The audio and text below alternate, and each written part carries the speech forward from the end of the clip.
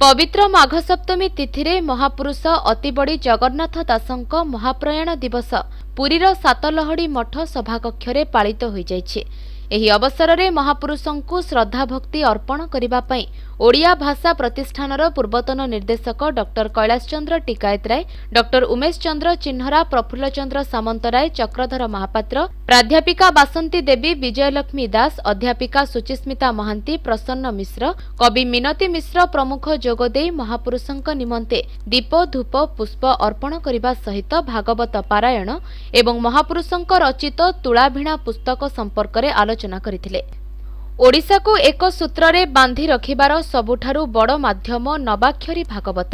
ଆମ ସଂସ୍କୃତି ଏବଂ ପରମ୍ପରାର ଅମୂଲ୍ୟ ଗ୍ରନ୍ଥ ଯାହା ଇହଲୋକ ଏବଂ ପରଲୋକରେ ପଥ ପ୍ରଦର୍ଶକ ରୂପେ ପୂଜା ପାଇଆସୁଛି ବୋଲି ଦୃଢ଼ ମତ ପ୍ରକାଶ ପାଇଥିଲା।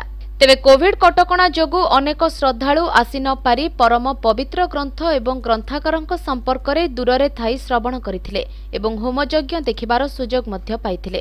ପ୍ରାରମ୍ଭରେ ପ୍ରିୟପତ୍ରର ସମ୍ପାଦକ ବିପିନ ବିହାରୀ ଦଳାଇ ଆଲୋଚକ ଏବଂ ଶ୍ରଦ୍ଧାଳୁମାନଙ୍କୁ ଆଲୋଚନା ଚକ୍ରକୁ ସ୍ୱାଗତ କରିଥିଲେ। ପ୍ରାଧ୍ୟାପିକା ବାସନ୍ତୀ ଦେବୀ ଭାଗବତ ପାରାୟଣ କରିଥିଲେ। ଶେଷରେ ଶିକ୍ଷାବିତ୍ ଶ୍ରୀମତୀ ବିଜୟଲକ୍ଷ୍ମୀ ଦାସ ଧନ୍ୟବାଦ ଅର୍ପଣ କରିଥିଲେ। ପୁରୀରୁ କ୍ୟାମେରା ପର୍ସନ ରଞ୍ଜିତଙ୍କ ସହ ସୁଜିତ ମହାପାତ୍ରଙ୍କ ରିପୋର୍ଟ।